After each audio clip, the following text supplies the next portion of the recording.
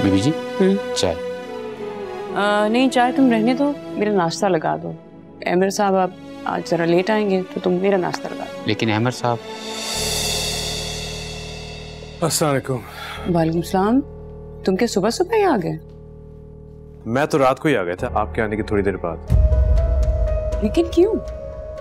नादिया की तबीयत इतनी खराब थी।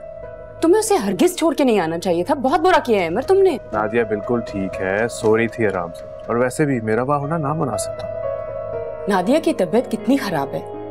तुम इतनी आसानी से उसे छोड़ के आ गए। और इफ्रा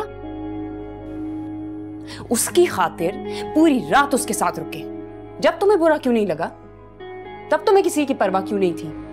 उसके साथ तो पूरी रात थे तुम। आप बहुत ज्यादती करती है मारूफ। अगर मैं इफ्रा के पास पूरी रात था तो इसलिए था क्योंकि हमारा एक मज़बूत रिश्ता है। बीवी है वो मेरी। और रही बात नादिया की तो वो मेरे लिए गैर है। इखलाकी शर्ई हर लिहाज से।